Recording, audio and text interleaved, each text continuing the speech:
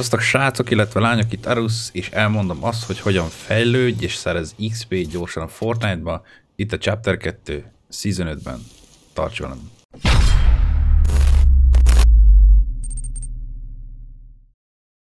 Az első ilyen opciótok a heti questek, nyilván ezt mindenki ismeri, nem kell bemutatni, ez mindig is benne voltak a játékba, csak most másképp hívják.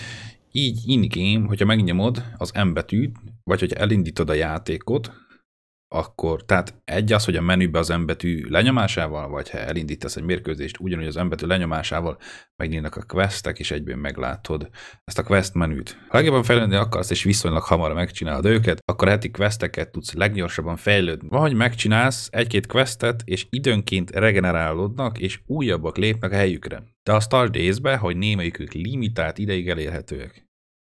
Ezeket úgy tudod megnézni, ha megnyitod a quest menüt az M betűvel, és ott láthatod, hogy mennyi ideig tudod még megcsinálni azokat. Vannak olyan questek, amik weeklyek, tehát heti questek, van olyan, ami napi, oda van írva, hogy például 5 órád van hátra. És utána reszetelődik, tehát ezeket nyilván érdemes megcsinálni minden nap egyből, ahogy megkapod az új questeket.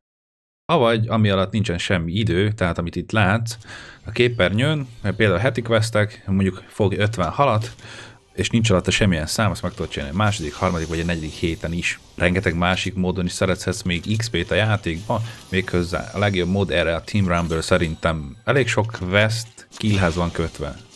Vagy arra, hogy csak sebezned kell bizonyos fegyverekkel, bizonyos rarity-vel. Itt hozok egy jó példát.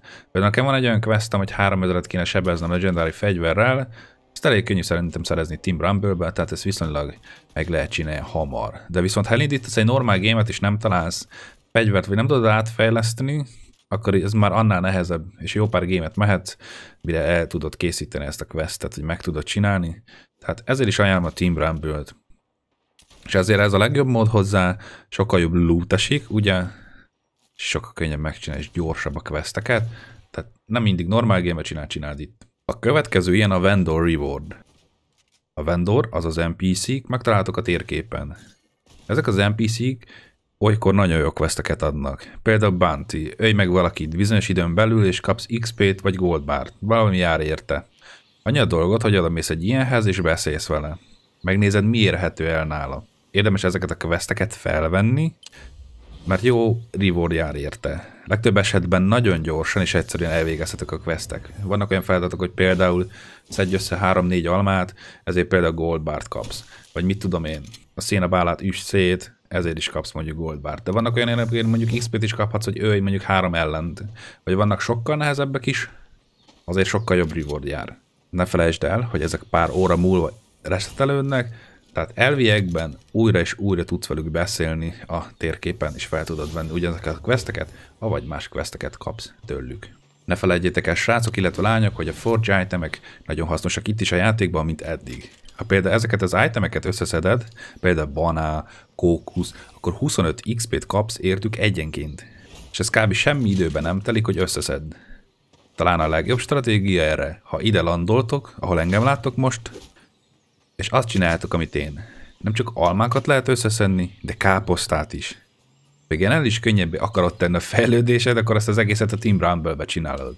Most én normál game csináltam természetesen, de ha Team Rumble-be csinálod, nem kell attól aggódni, hogy mondjuk meghalsz, és úristen kezdheted előre a gémet, megint mire odalandolsz, ki tudja, hogy van ott valaki, ugye ott respawnolsz a Team Rumble-ben. Végigmész, de a legjobb dolog, ami most nincs benne a videóban, hogyha farmot meglátogatod, és ott is a kukoricást így szét kaszabolod csákányjal, és a kukoricákat össze tudod szedni, ott is vannak káposzták, úgyhogy ezeket mind-mind be tudod gyűjteni 25 XP per darabért. És még mindig nincs vége, srácok, összeszedtem nektek még egy alap basic dolgot, a normál gameplay-t. Nyilván, mivel ez egy Battle Royale játék, ezért a normál gameplay is tudsz XP-t szerezni. Négy dologért kaphatsz itt XP-t, például a helyezésért, vagy mennyi ideig élet túl, a lootért és a killekért. Erre, hogy mennyi ideig élet túl, nagyon-nagyon jó. Van egy metódus. Például úgy gondolod, hogy um, neked van egy dolgod. Akkor csak egyszerűen AFK a játékba, és simán összeszedsz egy csomó XP-t. Most mondok egy példát. Landolj egy fa tetejére, de úgy lásd meg, hogy köbő az első körbe benne vagy.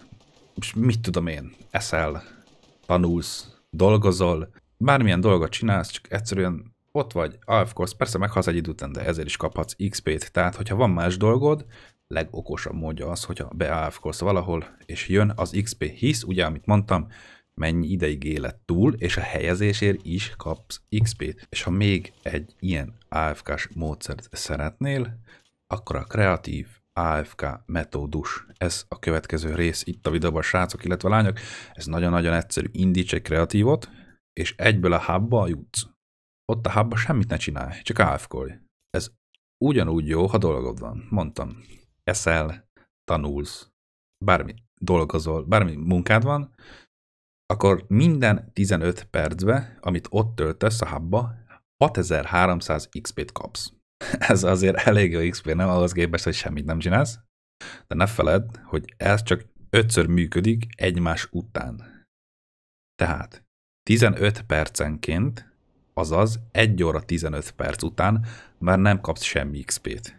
Hogyha dolgod van egy órára, vagy 1 óra 15 percre, akkor ez egyben 31.500 XP, 1 óra 15 perc AFK után, úgyhogy hozzá se nyúltál a játékhoz.